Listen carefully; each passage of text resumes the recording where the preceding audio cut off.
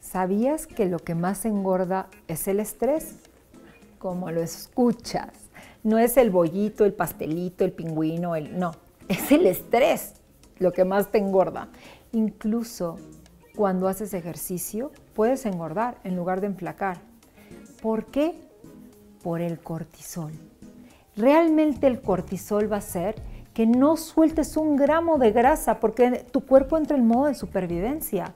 Entonces tienes que darte cuenta que si algo pasa, que estás haciendo tu rutina súper bien hecha y de pronto no hay manera de que bajes de peso, revisa ya sea, hay veces que el ejercicio que no le va a tu cuerpo puede ser a lo mejor de alto impacto, esté generando mucho cortisol en tu cuerpo y se va a hinchar, se va a inflamar.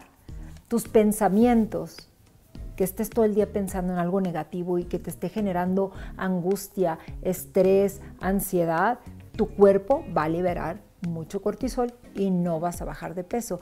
Por eso a la hora de preguntarte, hmm, estoy haciendo todo bien, estoy comiendo bien, estoy haciendo ejercicio y no bajo de peso, bueno, pues revisa esto que te acabamos de enseñar.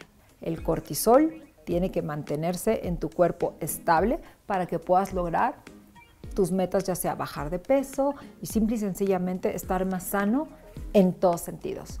Espero que estas cápsulas de Sanando Ando les guste y sobre todo les sirvan.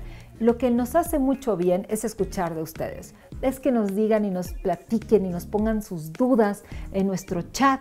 Así que, además, antes de que se me olvide, hacemos lives en Instagram, pero los hacemos en base a los temas que a ustedes les interesen más. Entonces no dejen de escribirnos, los esperamos en la próxima cápsula de Sanando Ando.